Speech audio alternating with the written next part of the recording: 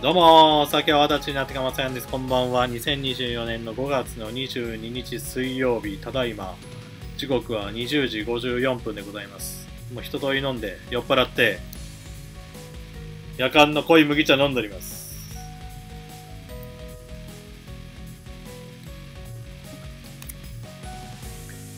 普段は卒の日に第三国志というゲームをやってるんですけどもね、今、まえー戦い真っ最中ですよ。まあ、過去類を見ないほど負けが込んでおりましてね、なかなか心が折れかけてるんですけども、いやー、厳しいなうん。まあ、私が弱いのがね、もちろん原因なんですけども、やっぱりね、魂が宿ってないんですよ、舞台に。ええまあ、それはなぜか。戦国武士道やってるからでございます。というところで、第三国志はもちろんね、あの、心折らず、ね、どんなに負けてもいいんですよ。ね、舞台を出さないこと。これがいけません。どんなに負けても、どんどん舞台を出していく、この心意気、必要ですので、私も諦めずやっていきたいと思います。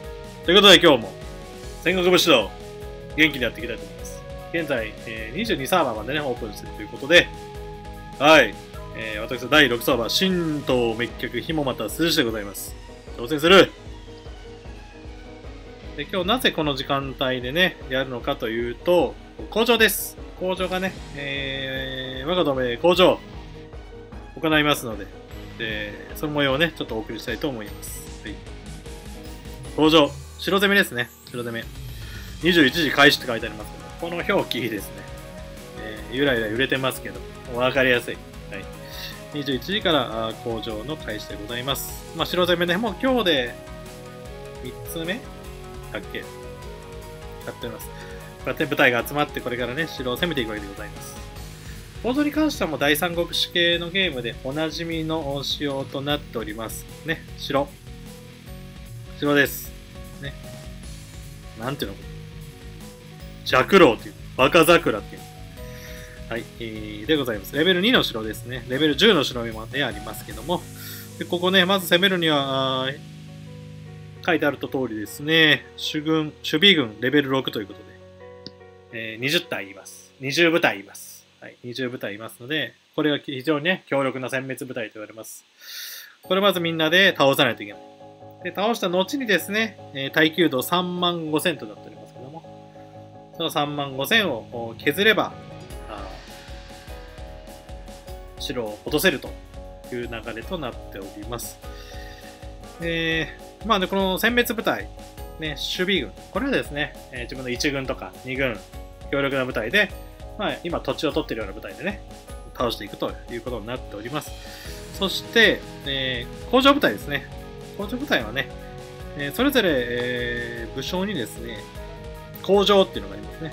えーこの女の子は43ですね。風馬小太郎は54。えー武田勝頼えー42。えーこちらは？小西。小西が44ですね。この合計値、プラス、うー今ね、機械があります。機械、兵器、投石機、レベル7。これがね、えー、工場320と非常に強力。合計503ありますんでね。はい。1回、えー、工場でね、殴ると503削れるということで、体力200なので、1回、えー行動20勝利10回殴れるというこ最大、この部隊だったら5000削れるということなので、まあ余裕っすね。まだレベル2だったら。5000だと、7人いれば、あ行動できるということでございます。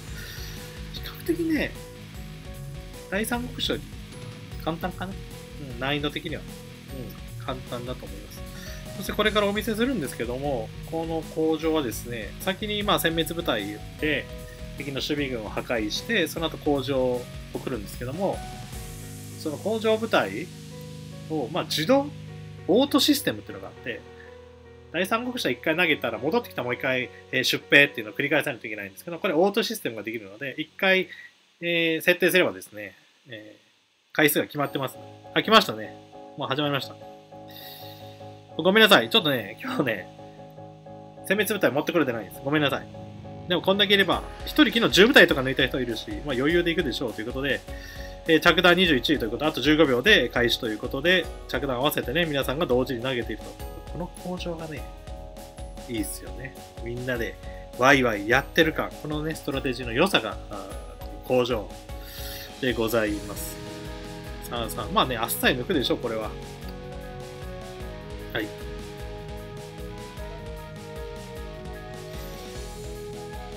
さあ、21時超えております。えー、もう抜いてんじゃないこれ。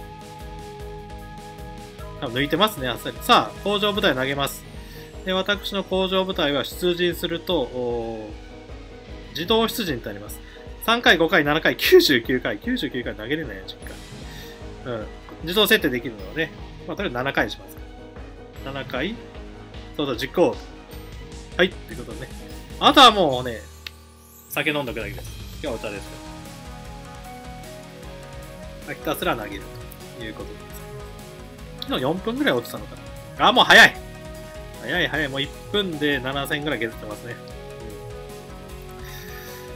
うんえー私の工場部隊はあ届くのか、それまで終わってしまうのか。えー30秒で着弾ですね。余裕だな。まあ、第三国志はレベル3からの城ですけどね。えーこのゲームはレベル1から城がありますけどね。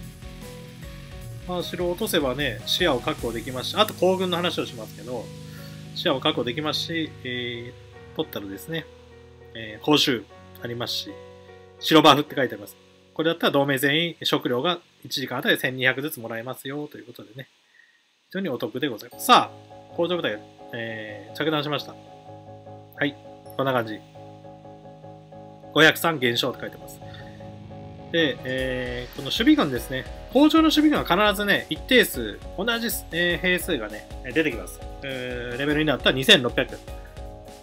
あのずーっと2600来るので、2600以上のね、えー兵数でアタックするのが良いです。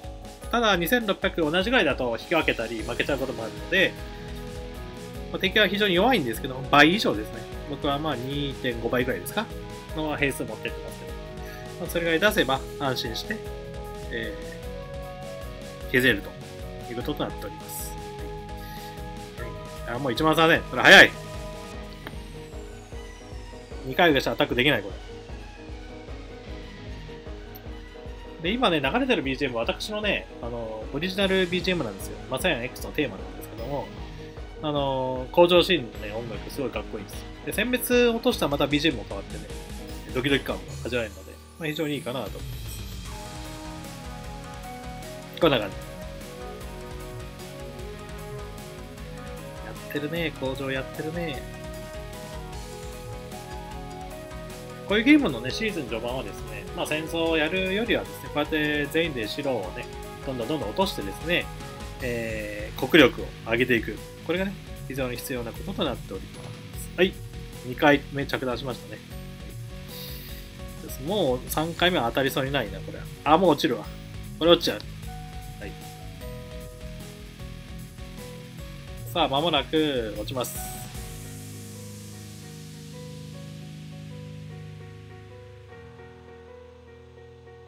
はい。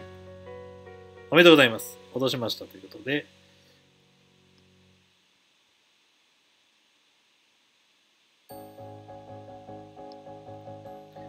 これね、えー、あ、10位入ってますから。10位入ってる。はい。えー、殲滅工場ね、第10位までね、表示されるんで、第三国志は3位までですけど、10位まで表示されるんで、ああ、ここまで俺頑張ったんだっていうのがわかります。ありがとうございます。ということで、無事落ちましたので、今日はね、もう一個工場の予定となっておりますので、一回、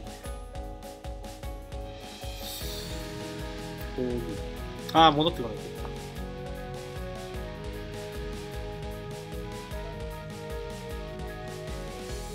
あ、期間か。ちょっと待ってくださいね。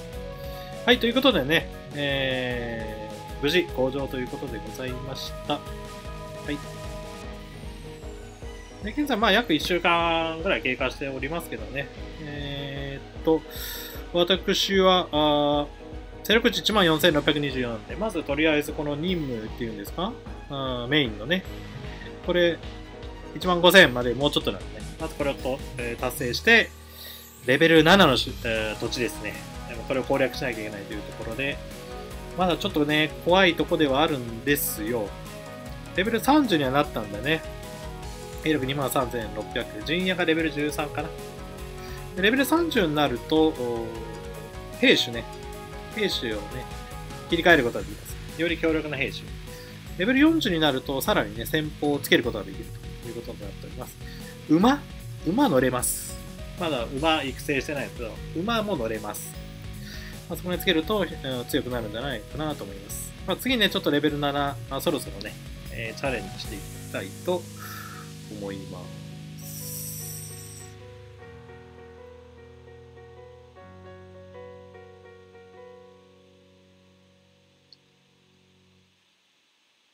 はい。でね、えーっと、このゲームの行軍システムがちょっとね、まあ、ややこしいというか、珍しいというか、まあ、さ覇王の行もそうだったのかわかんないんですけども、まあ、それについてね、えー解説していきたいと思います。要はね、舞台を移動させるとき、移動させるときですね、これ右に出てる。まあ、偵察はまあ置いといて、攻撃、行軍タイプですね。攻撃、行軍。で、もう一つが、もう一個あるんです移動ですね。移動が出ました。まあ、急行っていうのもあるんですけど、まあ、これはまあ早く行くから。移動っていうのがですね。まあ、主に使うのは移動、そして攻撃、行軍。まあ、この3つがあります。ね、3つがあります。攻撃。まあ攻撃は読んで字の年、あー読んで字のごとしですね。土地を取りに行きます。土地を取りに行きます。攻撃します。占領します。行軍は、えーその土地に行くだけです。攻撃します。行くだけ。で移動は、えー今、爆射。爆射立ってますよ、爆射。まあ、要塞でもいいや。要塞とか爆射、ね、爆射とか、まあ、主上から、その間を移動する。建物の中を移動が移動です。はい。でですね、えーと、まあ、システム見ましょうかね。ゲームガイドで、ちょっとね、書いてあるんで。あれ？なんか変わってるな、これ。えーっと、ちょっと変わりましたね、ここ。アップデートあったのかな。移動に関しての基本ルールが書いてあるので、見ていきたいと思います。部隊を派遣する場合、えー出発ポイントから目標ポイントの間に行軍の障害があってはいけません。で、レベル1の土地と感度は占領しなくてもデフォルトで通行できます。出発ポイントと目標ポイントの間に占領されていないか、他人が占領した土地があって通路を遮断している場合、そのポイント占領して通路を作ることができますというところです。はい。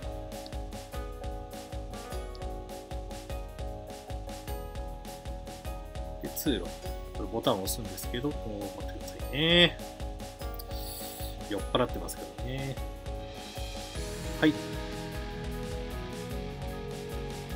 レベル1の土地と感度は自由に移動ができますということです。第三国者はね、自分の取った土地かもしくは、あ同盟員が取った土地の隣接しか動けないので、1マスずつですね、コツコツコツ進まなきゃいけなかったんですが、こちらは違います。レベル1と感動はあ自由に動くことができます。遠くでも。例えば、ここにしましょう。はい、ここ。ここ感動沿いなんでね、移動できます。攻撃しようと思ったら移動できます。はい。こういう隣、感動の隣とか、レベル1の隣とか、繋がってれば、いけます。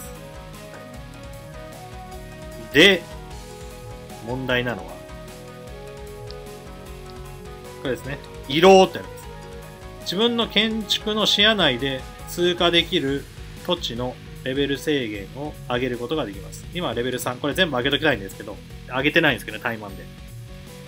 視野内だったら、この建設で、え色を上げとけば、レベル2、3、4の土地も視野内だったら自由に行き来できます。ね。難しい。はい。じゃちょっと遠くに行ってみましょうね。遠くに。どっか、どこでしょう？松江でしょ松江近いから。松江。はい、松江の方にね。行きましょうかね。例えばここら辺、どっか行こうかなって言って、えー、ここら辺にしましょうか。攻撃前、攻撃移動しようと思ったら、左に断点が4つあります。断点が4つありますと。で分断点少なめのルートを選んだら、あと2つありますというところなので、ここは、はい、ここ、×って出ましたね。ここ座標止めますけど、これ視野外ですね。視野外でレベルの2の土地です。はい。ここは、ちゃんと土地を確保してくださいね、ということです。はい。ですので、ここ、こういうところは全部潰していかなきゃならない。はい。これがね、めんどくさいんですよ。このゲームの仕様でね。ここら辺とかさ、例えば。5つありますね。断点5つあります。3つあります。これ、ここ、バツがついてるね。座標をちゃんと追っていけば、ここを潰していって、あの、移動しなきゃならないんですけども、じゃあそんなね、今移動することあんのっていう話なんですけど、いわゆる工場です。お城です。お城に集まってくださいねって言われても、すぐすぐね、飛んでいけないんですよ。こんな感じ。あ、二つあります。あ、一つありますね。こう潰しに行かなきゃならない。はい。で、これ、あの、ドメイン、ドメインの視野だったり、ドメインの取ってる土地も、あの、生きてくるので、まあ、みんなでそれをね、しっかり土地を取ったり、あと、不当ってあるんですけど、不当。不当をね、みんなでね、最初はね、どんどん取っていかなきゃいけない。どんどん取らないと、仲間が進めない。ので、必ず不当ですね、ここ。こういう不当はもう最初から、まずみんな、えー、全員がですね、近くにある不当を落としていく。これがね、まあ、絶対必要なこととなっております。はい。ですので、移動は、ね、とにかく断点、まあ、移動というか、まあ、舞台を動かす。ちょっと移動って言ったら厳密は違うので、舞台を動かすとき、出発点と目標ポイントの間の断点っていうのを自分もしくはまあドメインとかね、で潰しながらルートを確保していくってことがまず非常に大切となっております。そしてさっき言ったですね、えー、これ、攻撃。攻撃は土地取りますよね。攻撃取ります。砲軍って何？ただ移動するだけで何のメリットがあるのっていうことですね。ちょっとやってみましょう。このゲーム、えー、行軍をしてね、ポイッと行軍してみましょう。右にですね、1000位というのがあって、すでにもう99.6%、5%、4%ってね、下がっていってますよね。1000位というのがありまして、これが下がっていけばいくほどですね、要は戦闘の時に、えー、まあ、与えるダメージだったりが少なくなったり、受けるダメージが大きくなったりします。繊維が下がれば下がるほど、遠くに行けば行くほどそれが大きくなります。はい。まあ、つまりまあ長い距離をね、走ったり歩いたりしたら疲れるじゃないですか。まあ、それと一緒です。まあ、それで土地を取るとですね、繊維が低い状態で、えー、土地主軍と、例えばまあ、これからね、えー、対人とかになった時に、非常に不利な戦いを強いられます。ので、なるべく繊維は100%、100%近いところで、つまり、えー、より近いところで戦うというのが必要です。じゃあ遠距離はどうすんだと。ね、遠距離だったら、じゃあどうすりゃいいんだって言うんですけど、一つはさっき言った爆射とか要塞。爆射に移動すること。これを立てる。で移動する。これ移動したらですね、繊維が回復します。休憩できます。建物内にね。移動した瞬間に100%に戻ります。ので、遠いとこまで行くには、あ中継のためのね、こういう爆射とかどんどん立ててですね、はい。返答しなくてもいいように、繊維を100%にするというのね、のがすごく必要となってきます。で、じゃあ、行軍どうすんの？何のためにあるの？これ、行軍はということですけどね。今ね、私、行軍してるんですよ。姫も。姫も今ね、第2の工場のポイントにね、移動してるんですけども、行軍今、あ繊維がね、今88%を切ってきました。はい。これは非常にしんどいですね、戦いにおいて。さあ、まもなくね、あと10秒で目標ポイントに達するんですが、行軍だとここに、まあ、駐屯するというかね、部隊が止まります。停留するっていうのかな、このゲーム。はい、停留になりました。はい、停留です。止まりました。はい、止まりました。で、右の繊維が今86.1%となっています。ね。回復しません。今、今現時点では。でこれは時間とともに回復していきます。はい。あ、今86.2になりましたね。爆射とか要塞とかに移動すれば100にすぐ回復しますけど、これ何でもない時に停留だと、そこで立ち止まって休むんで、ちょっとずつ回復と。時間と計画と。で、まあ、いずれは、あまあ、100になる。100になった時点で近い、えー、コアレベルの土地を取ったすることもできます。はい。ですので、私がね、今ね、姫がね、次の工場地に移動ポイントを、今ね、えー、行ってるんですけど、どこだえーと、ここか。ここにね、今、行軍してます。行軍中です。で、今、あ、繊維も36.3%しかない。これやばいです。非常にやばいですよね。はい。ただ、行軍して、近くに移動して、次の工場までにね、時間までに、まあ、21時30分なんで、これ完全にはね、あのー、繊維は回復しないでしょうけれども、まあ、敵が弱いんでね、多分大丈夫でしょうけどもね。はい。こんな風にですね、行軍って使います。でもね、行軍はね、なるべく僕は使いたくないというか、なるべくやっぱり爆射立てるとか、して移動していった方がいいかなと思います。まあ、爆射も今現時点で 20, 20しか立てれないんですけども、うんまあ、しっかり爆射立てて、中継作ってね、移動してっていうのが一番いいかなと思います。はい。あー、爆射立てるの忘れたって。でも、今日城参加したいっていう人はですね、えー、早めに、えー、行軍で近くまで行ってってね、繊維が100%になるように、えー、して、ね、工場に参加するのがいいかもしれません。なのでですね、このゲームちょっとね、あの、そこはあ難しいというか厄介というか、いざ遠くへ味方のところへ飛ぼうと思ってもですね、途中断点が発生して、あれはいけないっていうことが、ね、多々あります。ただルートをちょっと変えたり、えー、なんかいろいろ工夫したらですね、意外といけたり、断点が1個とかで、えー、そこ潰せばよかったっていうところで、まあ、まだまだ工夫すればですね、いけるのかなっていうところあると思います。はい。あとはどんどんね、視野内では、あさっきの、これですね。はい、自分の建築の視野内で通過できる土地、レベル制限を上げることができるということなので、えー、自分のお城、まあ今、市場も立ってますけど、非常に広範囲でね、これ、1、2、3、4マスかな？あるし、えー、爆射とかですね、えー、要塞とかも視野が2マスずつあったりしますので、まあ、そういうのをしっかり活かして、行軍ルートを確保してですね、えー、すぐに、えー、目標ポイントに到達できるようにすればいいんじゃないかなと思います。ということで、最後、記念に、ガチャ引いておきましょう。はいはい、毛利、えー、高本ですね。さあ、10回いとこう。あ、当たりましたね。ああ、出雲6人2枚目です。ありがとうございます。これガチャした時さ、そのレビューがポイント出るのね、ちょっとね、興ざめなんですよ。もう星5出たっていうのとね、それ消さないと見えないということで。出雲6人1体入れてるので、これは開放っすね。これ2つあるのかなあ、これね、2つあるんですよね。うん。どっちがいいのかな。まあ、S 級のね、えー、武器はね、なるべくゲットしたいというところまあ、あとね、ちょっとしっかり見てやりたいと思います。まあ、結構ね、結構ありますよ。星5武将が。星5武将じゃない。SSR。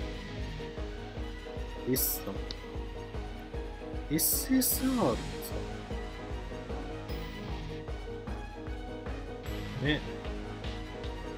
SSR こんだけあるんです。開始1週間。しかも餌にしてるのが3体と、2体武器に変えてるの5体をプラス当たってるので、結構当たってますよ。ありがてえ。こうやって最初にポンポンね、SSR 最高リアリティのね、キャラクターもらえたらテンション上がりますよ。それ頑張ろうっていう気になる。はい。これからも、戦国武士道やっていきたいと思います。なんか第三国時代の皆さんでちょっと集まったりもして、楽しんでます。はい。でも第三国志もやめませんかお酒は立ちになってかまーせん。